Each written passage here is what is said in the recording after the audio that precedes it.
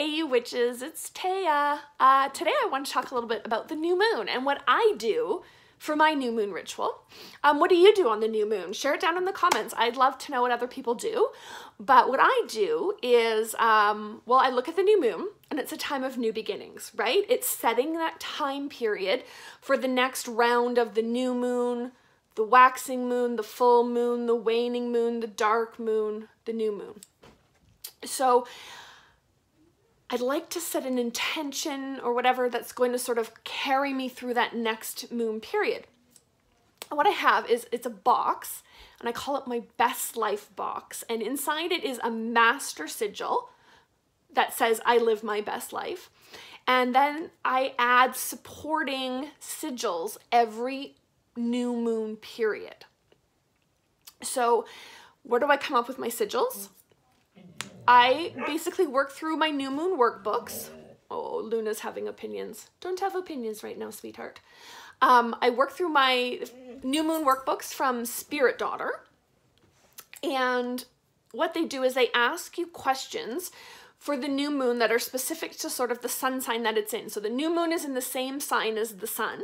So right now we're in Pisces. So it asks questions this month that kind of relate to Pisces and the new moon. Uh, so the first question is, how does it feel to just be? So if you were to say sit for like 10 minutes, no phone, not talking to anybody, just literally sitting quietly with yourself and your thoughts for like 10 minutes. How does that feel to you? What does that bring up for you?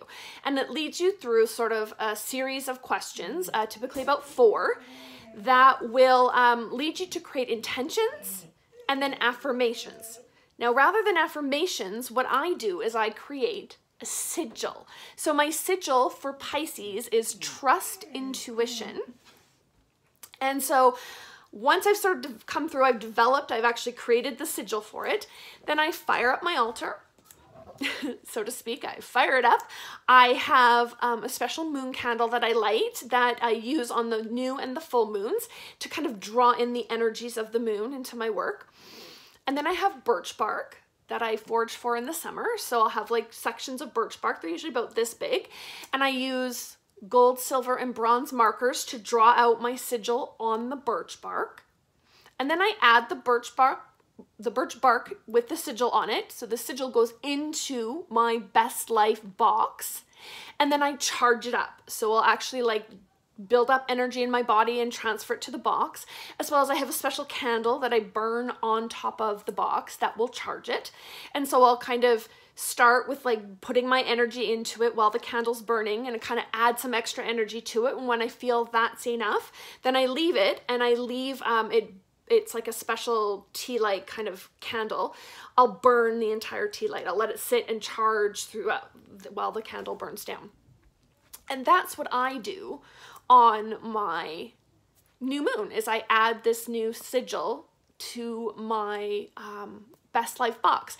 Ideally what I'm doing is I'm creating a servitor who's going to sort of help me create, maintain my best life um, but that's a whole another discussion for a whole another day. But that's basically what I do with my new moon ritual is I add in those, I develop and add in a new sigil for the next sort of moon phase. So what do you do? Share it down in the comments. I'd love to know what everybody's up to today on the full moon in Pisces.